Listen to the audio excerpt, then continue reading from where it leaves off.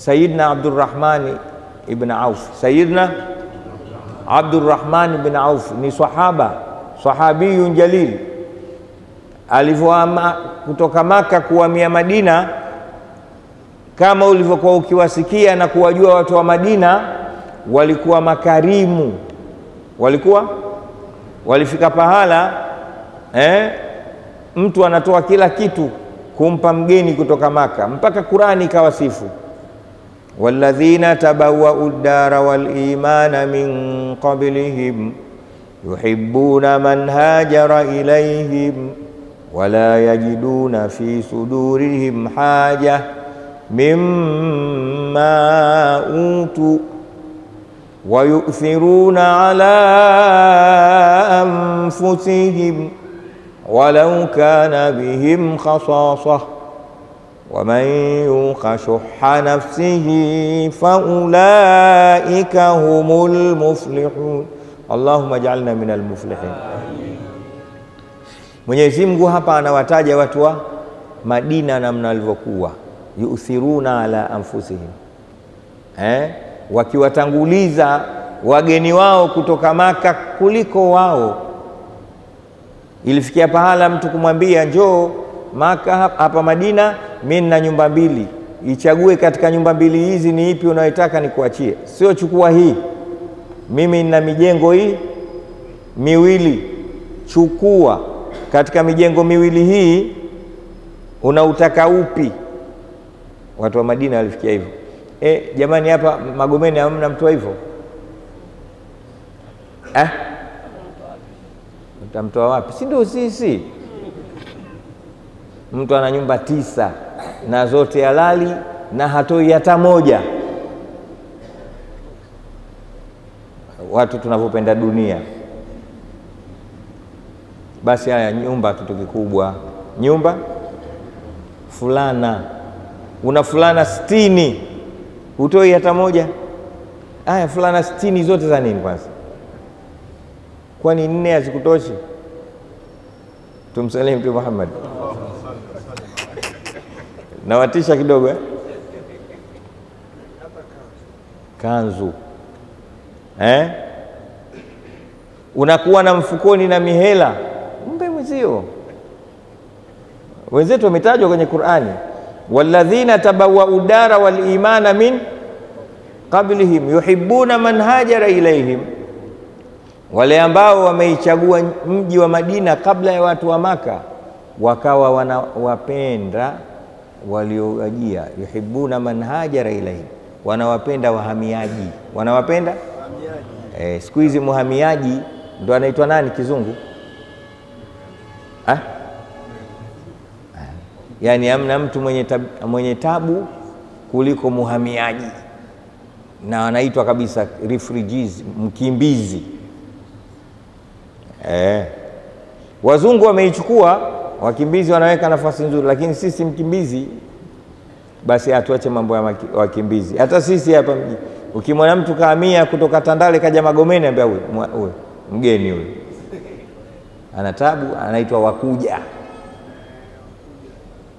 Angalia Qurani hivyo, kwa dini ya insaf, dini ya haq, inawasifu watu wa Maka kwa kuwapenda wakimbizi kutoka ma, ina, imewasifu watu wa Madina kwa kuwapenda na kuwatanguliza katika haja zao watu wa wapi? Wa Maka. Sawa sawa. Sasa Sayyidina Abdurrahman ibn Aufi katika wakati kama huo, naye katoka Maka kahamia Madina, akapokewa na mwenyeji wake. Mwenyeji wake ilivyofika usiku, akamwambia bwana, sikiliza, nyumba yangu hii, nyumba yangu hii tafuta sehemu unayoona inakufaa ulale wewe, hata huku chumbani kwangu ninapolala na mke wangu, kama pana kutosha pana kufaa, mimi nitalala jikoni, wewe njoo ulale huko eh?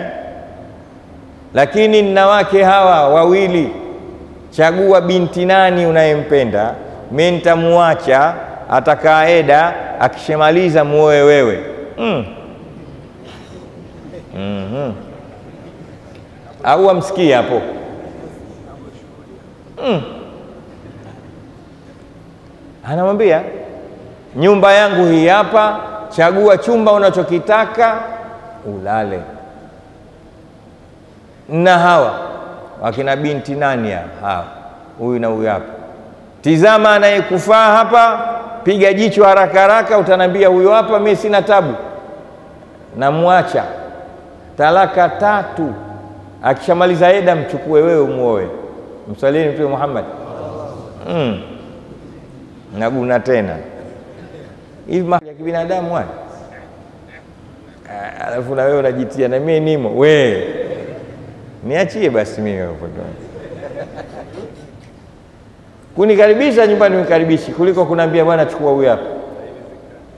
Wenzetu walifikia hapo, wametajwa katika Qur'ani, walladhina tabawwa'u dara wal imana min qablihim yuhibbuna man hajara ilaihim wala yajiduna fi sudurihim haja, yani hawakuti katika nafsi zao haja yoyote eh? wayuthiruna ala anfusihim, wanawatanguliza wale wenye haja kabla ya wao eh? walau kana bihim khaswaswa, hata kama kile anachokitaka yule mgeni yeye alikuwa anakihitaji. Walau kana bihim eh, hata kama walikihitaji, lakini maadamu mgeni anakitaka chukua bwana, umekipenda wallahi, umekipenda chukua. Haja yake anaisahau. Hapo napo pagumu sisi, ah, mimi mwenyewe ninayo hiyo hiyo tu hmm.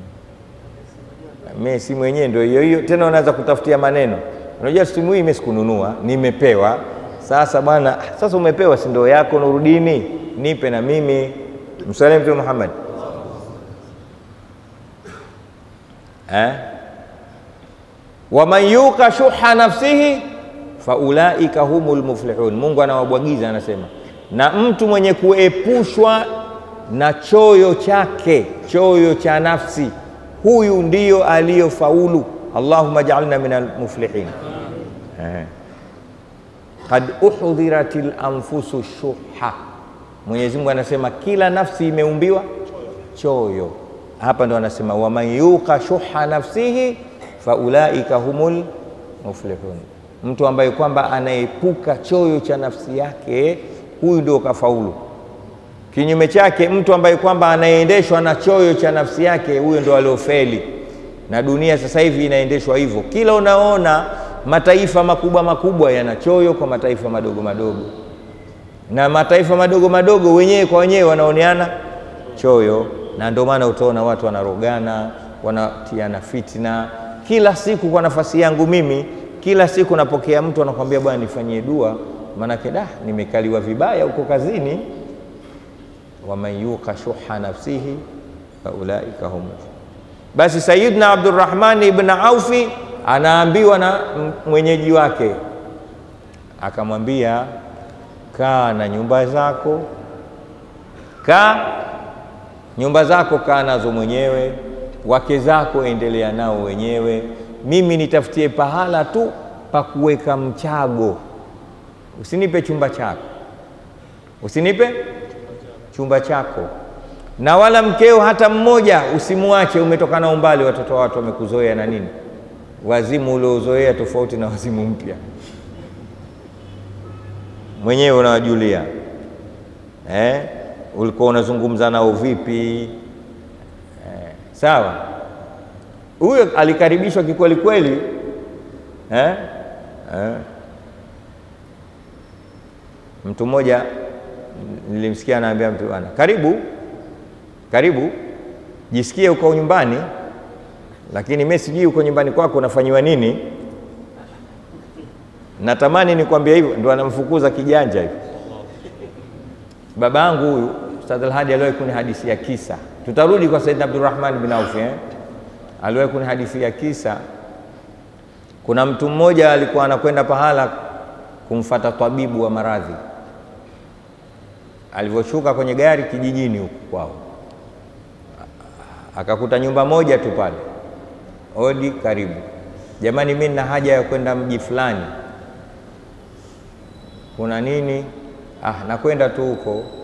Wakamwambia kwa muda huu umbali wa hapa na huko si wa kawaida, alafu njia si nzuri, ina simba, ina wanyama wakali. Karibu lala hapa, asubuhi tutakupa kijana akupeleke, saizi ukenda utaliwa mzee. Akakubali. Ilivyofika jua limezama, wameswali magharibi na nini, watu wa huko walikuwa wanakula baina almaghribi wal isha, ndio unakuja mpunga. Lakini kwa sababu amekuja mgeni, wakaona tulichukua nacho tumtangulize kwanza nani? Mgeni. Basi mgeni yule kakaa, akatumwa kijana mpelekee maji ma make maji ya kunawa, sawa. Haya, maanake hata kuandaa nako kuna formula yake, yanaanza kuletwa maji kwanza, kwa maji akaondoka, ili akalete maji ya kunywa. Yanaanza maji ya kunawa, alafu maji ya kunywa, alafu mchuzi, alafu ndio wali. Umeelewa? Basi kaekewa maji ya kunawa, yule mtoto anafata maji ya kunywa, anayapata, anakuja pale, mgeni kanywa maji ya kunawa, kesha yanywa yote. Eh. Akaondoka na ile bakula maji ya kunawa, akaacha maji ya kunywa, ili aje sasa na nini, maji ya kunawa na, na mchuzi. Analeta maji ya kunawa anakuta mgeni maji ya kunywa kesha yanywa, akaondoka. Kaacha nini, mchuzi. Analeta wali anakuta mchuzi kisha kunywa tena, kafuta kabisa mchuzi wote, anajirambaramba, anaangalia vinavyokuja. Basi ukaletwa wali, akaubugia hivyo hivyo bila ya mchuzi kafanya jamu utakdimi uwani, vitu vimeisha tena. Mtu na mkewe wanaulizana, huyu eh, mgeni wa ajabu. Lakini sasa hakuna hawana cha kuwapa kwa sababu kawajia ghafla. Ah, basi wacha nikatie tie na story nyewe tafuteni chochote, wewe na mwanao mtafune tafune. Tumepata tumepata fadhila ya kumkirimu mgeni, japokuwa mgeni mwenyewe ana kasi sana ana kasi ya 4G. Mzee wangu ananihadithia eh? Eh, siende kuitafuta kitabu gani, mna kawaida hiyo nyinyi. Hizi ni katika zile story alikuwa akinihadithia mzee wangu, kukazia mafuhumu ya vitu kama hivi. Mungu amrehemu. Basi yule bwana akatoka kule na kuja kuongea ongea na mgeni hey, bwana, manake sio mtu kabla hujamkirimu unaweza kumuuliza unaitwa nani, unatoka wapi, huko unapokwenda kuna nini, ushaelewa lakini sasa kishashiba unaweza kutia na historia kawa basi kufika, ndio bwana, karibu sana bwana, alhamdulillah. Unaitwa nani? Sasa mimi naitwa fulani. Unatoka mji gani? Natoka mji kadhaa. Umewaachaje huko? Ah, alhamdulillah, mimi tu ndo mgonjwa mimi ndio mgonjwa, lakini hawa huko ah, nimewaacha vizuri tu Sasa huku unapokwenda unakwenda kwa nani? Akasema mimi naenda kwa fundi. Unajua fundi eh, twabibu, kwa sababu si nimekwambia naumwa. Akamtaja jina ah, yule kiboko yule kwa maradhi. Kwani unaumwa nini? Akasema nachoumwa, sina appetite, siwezi kula, kwa nataka nikende huko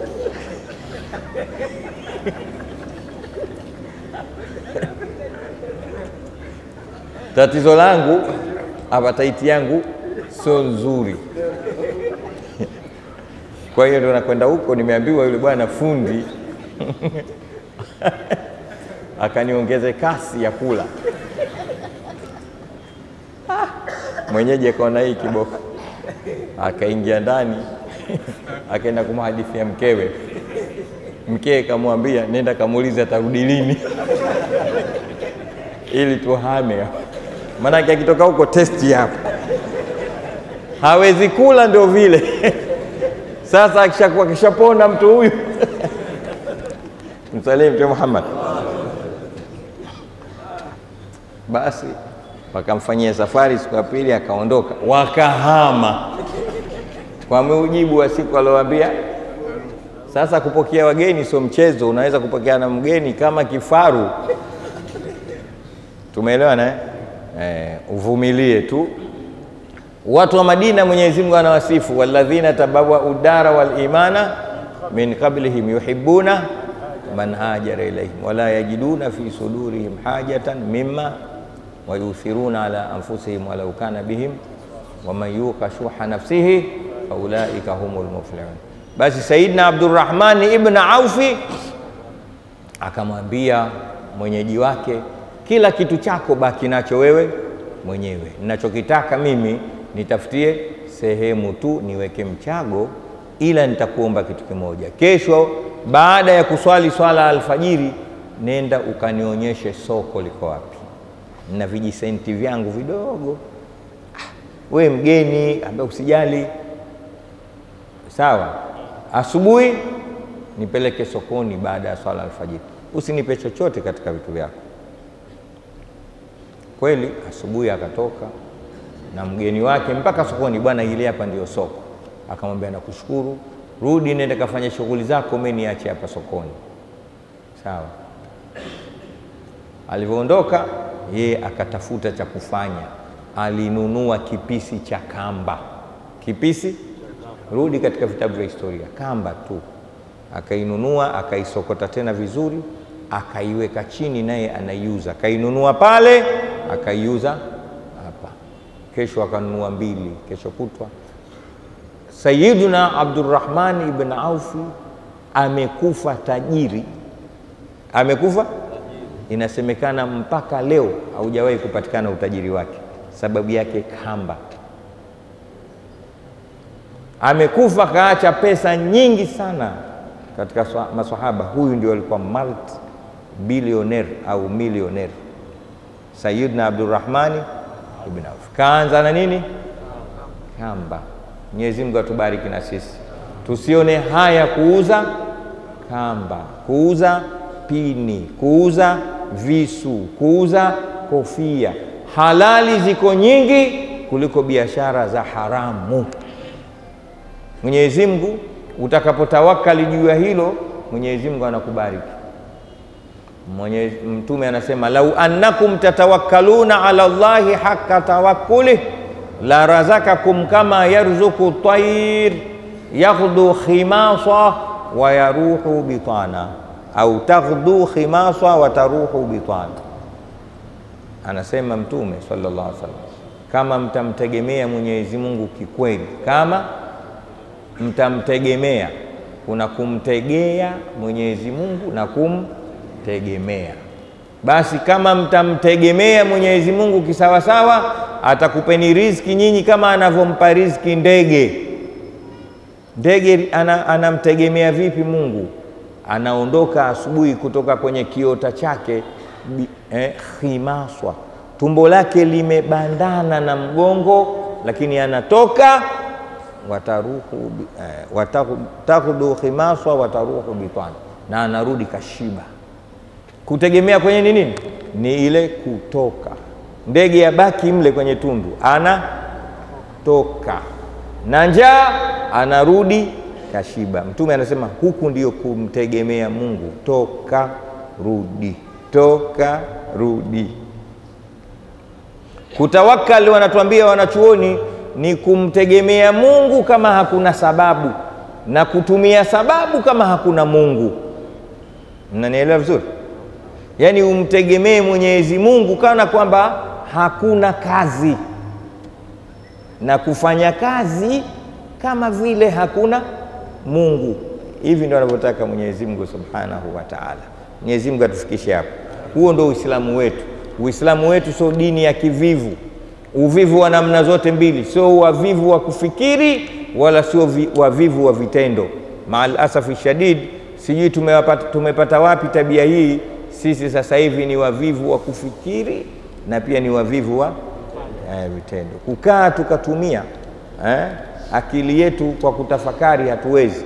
Masahaba walikuwa wakiitana, taalu na tafakkar saa Ta, taalu na tafakkar, njooni jamaa, tukae tutengeneze fikra.